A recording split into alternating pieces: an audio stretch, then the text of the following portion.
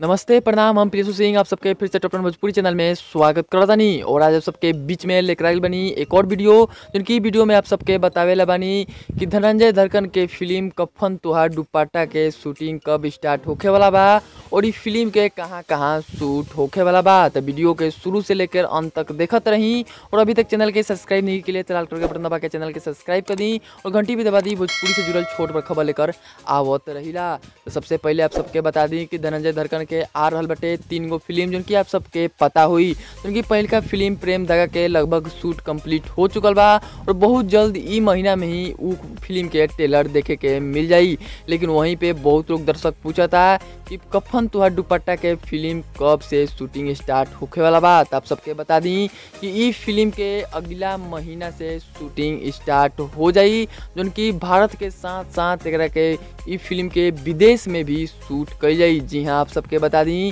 कि ई फ़िल्म के नेपाल में शूट कई जाई।